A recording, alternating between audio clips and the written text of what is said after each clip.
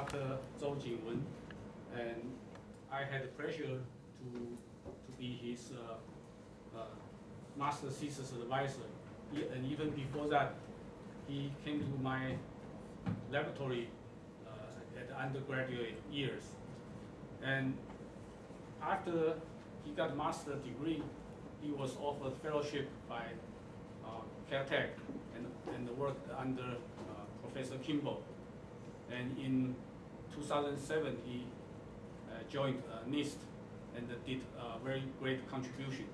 And perhaps you all know that a few years ago, uh, his experiment demonstrated that uh, a very precise atomic clock that reached a resolution or precision of 10 to the mi- minus 18th. And that kind of resolution, you can even just lift the clock 30 centimeter up, you will see the clock slow down. Okay, so that was a big news at that time. And now he's uh, uh, continuing his career in, in NIST. And what I had uh, the, the best impression of uh, Zhou Jingwen is in, in my laboratory, we were working on mainly high power laser instead of quantum uh, optics or and that, that kind of direction. But he did uh, this uh, exploration almost on his own. And uh, eventually he was very, he ha- has achieved a lot in this field. And also I can comment, I can, I can um, tell you the comment about him from my wife. My wife was a, was a theorist, a mathematician. And one time my wife was, was giving a talk. It's very difficult mathematical theory. And according to my wife, all the students was falling asleep because the, the, the eye, you know, their eyes become smaller and smaller. And my wife told me, only Zhou Jingwen has a bright eye in that lecture. So he's, she told me that this person is not a simple guy because she, he can he can do experiment and also understand uh, deep theory. Okay, so let's welcome Zhou Jingwen. By the way, uh, his, his work also uh, become a, a big contribution for the uh, for Nobel Prize uh, laureate Winland, like your Wineland. Wineland, uh, yeah, He, he was cited uh, several several contributions, and one is uh, actually done by you. Well, uh, thanks for the really, really nice introduction. And it's really, it feels great to be back and see uh, all familiar faces friendly uh, people in the department. Although I, I never uh, work in this building and I feel like I'm back home. And it's a great pleasure for me to uh, uh, talk about under the uh, general theme of quantum logic spectroscopy. And I would introduce to you um, the work I've been doing in uh, NIST Boulder, um, including high accuracy atomic clocks based on aluminum ion, and also our recent effort uh, towards uh, precision molecular spectroscopy. Okay. Uh, here's a brief outline of my talk. First, I would uh, tell you what is quantum logic spectroscopy, and then I would uh, uh, talk about the first application of this protocol, that is the optical atomic based on the frequency reference of aluminum ion. And uh, I will give you a progress report uh, on our recent effort for uh, molecular ion quantum logic spectroscopy. Okay, um, uh, first I want to motivate why we want to do a uh, quantum logic spectroscopy. And in the history of physics, uh, precision spectroscopy in atomic, molecular, and optical physics has been the driving force, one of the driving forces that uh, force us to refine the theories describing the physical world. And with uh, higher and higher precision, you can look at, you can examine the theories uh, with greater and greater scrutiny, and that led to refined theory. Just think about uh, when people discovered fine structure, hyperfine structure in the spectra, what happened to the theory? And in modern uh, precision spectroscopy, we have generally some uh, desirable features. Uh, say I want to probe a particle, uh, a transition in the particle with a probe laser. If the particle just whipped by the uh, interaction region, you only have limited time for uh, probing the transition, and that would give you limited resolution, limited precision. So a desirable feature would be we trap the particle. That would lead to long probe time and also since the particle is not going anywhere, the average velocity is zero and you have minimal linear Doppler effect. Okay, so trapping is one feature we desire. And the other features uh, is that um, although the linear Doppler effect is uh, minimized, the particle could be still at finite temperature, and we would have higher order Doppler effect. And to reduce that, uh, we would like to use um, cooling laser to cool down the uh, average kinetic energy. And also, we would like to have a way to efficiently read out the internal state of this particle. And these two features um, usually requires uh, cycling transition for laser cooling and also for uh, fluorescence detection. Uh, if you don't know what cycling transition is, it's basically a transition in which uh, you shine a laser and then the population of this particle would keep cycling between the two states. And then we can, the scattered photon would reduce the kinetic energy, that's basically laser cooling. And then uh, the scattered photon can also be collect, collected by photodetectors, and we will know the internal state of this particle. And additionally, we would like to minimize all the known physical factors that would uh, influence the transition frequency. So we want to be able to perform coherent spectroscopy, say uh, Raman spectroscopy, or uh, use uh, all sorts of techniques to prepare, say, entangled state to improve the uh, resolution of the spectroscopy or stability for the measurement. Okay. And in the setting of ion trap, uh, the requirement for uh, trapping and cooling is relatively easily achieved. Um, this is a picture of linear RF Paul trap. And say if you want to study this uh, particle, it's charged. And it can be automatically, it, it can be trapped in the ion trap. And if we have another uh, atomic ion in the same trap, through the Coulomb inter interaction, their motion are coupled. And to describe their motion, we have to uh, talk in terms of normal mode. And we can use an atomic ion with a nice cycling transition and for detection too. Uh, that we can just cool the motion of this uh, atomic ion, and because the uh, motions are coupled, both of their motion are gonna be cooled. So uh, this is so-called sympathetic cooling, and with that we will be able to trap and cool a charged particle. And it doesn't it doesn't matter what the uh, species the charged particle. And I know uh, um, ion trap is kind of um, exotic in this audience, so I'll give you a brief introduction of what uh, trap we'll be using. And this is a general uh, configuration of a linear RF Paul trap. And It has four rods, and the cross section. You can see that in the transverse uh, direction, we apply the radio frequency voltage onto these two rods, and then uh, ground these two electrodes, and uh, they form an oscillating quadrupole field. And because the charged particle doesn't like to be driven around, it would look for the minimal uh, RF field point. And due to this translational symmetry, the whole axis would be of minimal uh, RF uh, driving field. The ions would like to be on the axis. So we have a confinement in the radial direction. To uh, complete the trap, we want to uh, induce axial confinement too. So what we did was uh, applying positive voltage in order to trap a positively charged particle. And that provides um, trapping potential in the axial direction. That gives you confinement. And with uh, both of uh, these confinements, then we have a 3D confinement and it's a trap. Okay. And uh, the essence of uh, trap ion quantum information processing is we are using the coupled motion as information bus.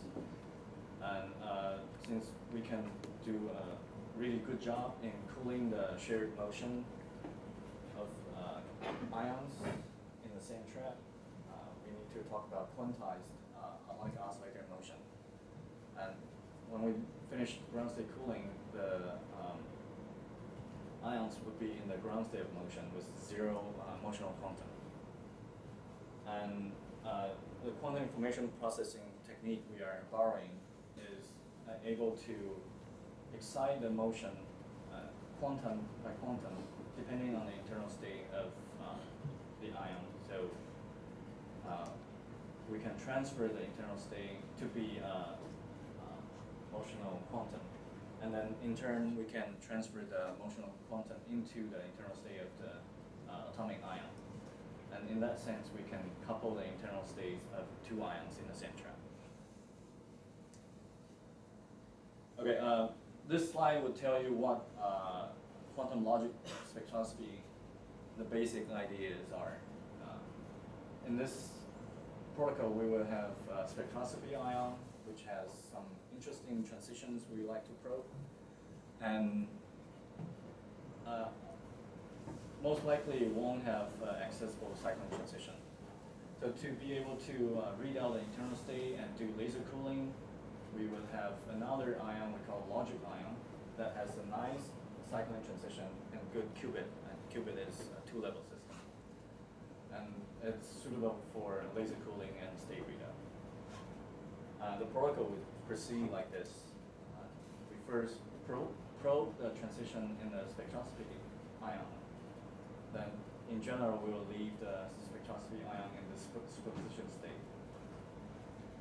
And using the quantum logic technique, we can transfer the internal state of the logic ion to the motion, a shared motion. This M means motion.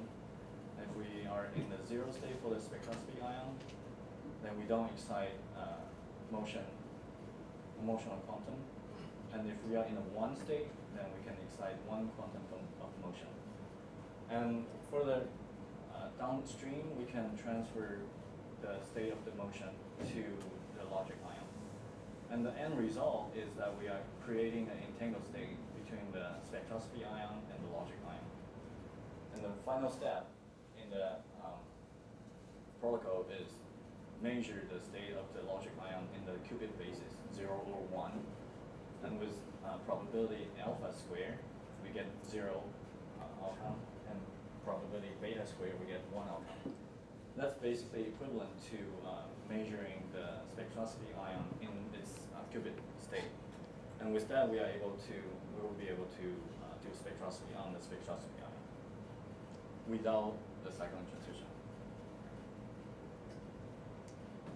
And the first application of this quantum logic spectroscopy is uh, construction of uh, optical atomic clock. Uh, optical, optical atomic clock consists of uh, optical frequency oscillator, a laser oscillator, and also an optical frequency counter, a femtosecond frequency comb. Uh, the frequency of the laser oscillator is referenced to uh, stable transition in either a single ion or a neutral atoms. And by, with the capability of detecting the change in internal state, we would know if the laser frequency is well uh, locked to this transition. And uh, the stability of this transition can be transferred to the frequency of the laser oscillator. So we will have a stable, stable uh, stream of uh, oscillations that count that behaves as that clicks, uh, ticks of clock. Then we count the steady stream of uh, ticks, and that will allow us to allow us to keep time. And with a oscillator and a counter, we have a clock. The frequency reference in our optical clock is uh, aluminum 27 ion. This ion has a nice and narrow clock transition uh, between singlet, singlet S0 and triplet P0 state. The natural line width is about 8 millihertz, and uh, the clock transition frequency is quite sensitive to external fields. And what makes it uh, special is that this transition frequency has the smallest known room temperature blackbody radiation shift. Uh, this shift is due to the ubiquitous uh, blackbody environment that uh, the ion sits in. So if we use a room temperature apparatus, uh, we will have some uh, blackbody radiation spectrum interacting with the ion. And because it, it is uh, electromagnetic field, it's shifting the energy levels in different ways in general. But uh, these two levels happen to experience the same uh, shift due to electromagnetic field in this uh, blackbody spectrum. So that's a, a, happy coincidence that we have really uh, good insensitivity to blackbody radiation. We can operate our clock at room temperature without worrying about going to cryogenic temperature. And unfortunately, all these nice uh, transition properties has the drawback that uh, the cycling transition in this aluminum 27 ion is at 167 nanometer, and current technology still make it difficult to reach that wavelength. And even even if we can uh, produce a laser at that wavelength, the uh, line width is still too broad to uh, allow efficient uh, laser cooling. So we used the quantum logic uh, technique to um, provide us with the capability for cooling, state preparation, and readout. In this example, where uh, we have a beryllium ion in the same trap, and that, that does the uh, that plays the role of the logic ion. Okay, I'm uh, skipping a lot of details in terms of building that clock and just show you this uh, uh, systematic table. And if you work with precision measurement, you know this is the majority of effort we spend on. We spend most of our time producing this table. And I mentioned that um, black body radiation is a shift we worry about, and and uh, trying to make the clock as accurate as possible. We are trying to uh, constrain the uncertainty. Each physical uh, parameter can uh, influence the transition frequency. And because the aluminum ion has relatively low mass, light mass, uh, the motion, motional shift, in particular the micromotion time dilation and secular motion time dilation shift is uh, needs extra attention.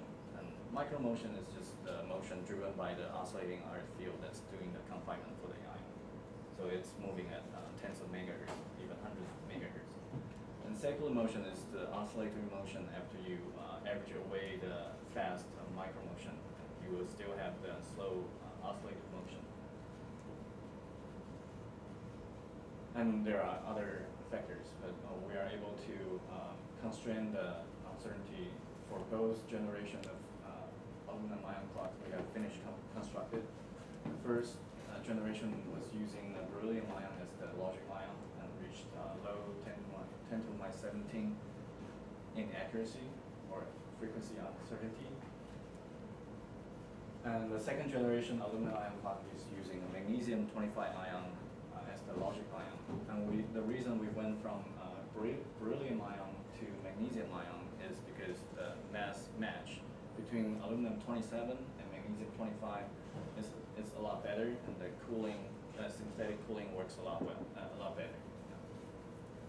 And with the second generation, we were able, we were able to uh, break through the 10 to minus 17 barrier and at the uncertainty slightly below 10 to minus 17. Okay. with uh, high accuracy uh, atomic clocks, we have some application in fundamental physics. In the year 2008, we have reported um, uh, frequency ratio measurement between uh, optical clocks based on aluminum ion and mercury ion, and that measurement has 17 significant digits. And why are we interested in measuring some number with so uh, high precision? It's because um, we can link the ratio we measure really well to whether the fundamental constant, uh, of how, however the fundamental constant affects that ratio uh, through uh, first principle calculation. In particular, in, in our case, that ratio is directly linked to the change in fine structure constant. So with that link, you know, if you see the ratio, the major ratio change at all, if it changes at all, we can say uh, the fine structure constant actually varies over time. And um, about a, almost a decade ago, we performed the measurement over the course of a year. The uh, result is still consistent with no change, and um, we can't say if the if the fine structure constant is changing at all. But uh, we are trying to re revive the mercury ion optical clock back to operation, and we are hoping to put another point on this graph and really say whether that uh, that that quantity is zero, positive, or negative. Stay tuned. And with the two uh, aluminum ion uh, clocks at 10 to minus 17 in the accuracy level, we were able to see relativistic effects at uh, scales that we experience in our daily life. So with that, I think uh, Dr. Wong stole my thunder, but it's okay. It's still lots of uh, fun stuff. And the first uh, real uh, relative, relativistic effects we observe with our clocks in our daily life is time dilation. That's uh, well known in twin paradox. In relativity, uh, there's this well-known twin paradox in which um, a pair of, twins, one of them would go on an interplanet trip, and upon her return, she found that she is a lot younger than her twin. In relativity, you would argue that uh, since the velocity is relative, you can say the other party is the one who is traveling, and they can both argue they um, they will be younger than the other one. But uh, it's actually the turning around and meeting that broke the symmetry, and the uh, the twin that's that had changed velocity is the one that's gonna be uh, younger than the other twin. With our clocks, it's like we, we have twins that supposedly would age at the same rate or produce the same time. But uh, to see, in order to see uh, this relativistic effect, time dilation effect, we force one twin to go on a trip. And the way we did that is uh, we apply an electric field to shift uh, the aluminum ion one of the clock away from the RF null, so it's driven by the elect oscillating electric field into oscillatory motion. And relativity, relativity tells us that this clock should produce slower time. And this is the result we have seen. We just excite the motion and really relatively slow, far from speed of light uh, velocity. But even for velocities uh, well below 10 meters per second, we can see the effect of the time dilation. And just put to put all these velocities into context, if you are swinging on a swing, then you are experiencing a time dilation effect. The clocks can tell. And if you're biking, that's really prominent. Racing on the freeway, sitting on a bullet train, or flying in an airplane, then uh, our clocks will definitely see that you are aging slower. The other relativistic effects uh, we obs- observed with our clocks is the gravitational redshift. And as uh, Dr. Wang has mentioned, um, the gravitational redshift uh, is, you can understand that by uh, looking at a photon emitted by one aluminum ion climbing up the uh, gravita- gravitational potential, and it will lose energy, and because of losing energy, it would experience a redshift. And on the surface of Earth, a centimeter height change corresponds to 1.1 10 to minus 18 frequency shift. And um, we want to see that kind of shift with our clock. Here's a picture of the second, second generation aluminum ion clock. And, and while it's in the original height, we established the frequency difference as zero difference. And then um, we went in the lab, putting a, a hydraulic jack and slowly jack up the height of the table. And we ex- expect the frequency difference to increase because of the height change and the gravitational redshift experience. And at the end, we're putting uh, two pedestals that's uh, 33 centimeter height. And we expect the frequency difference had changed by 3.6 to minus 17. Here's the major result. Uh, as expected, uh, we had established the frequency difference initially before we lifted the table, and after the table is lifted by three, 33 centimeter, we had observed the frequency difference change by um, 4.1 plus minus 1.6 10 to the minus 17, which is uh, as expected. And here's a cartoon showing uh, two colleagues was comparing their clocks, but they don't agree in time because one is actually at a slightly different height.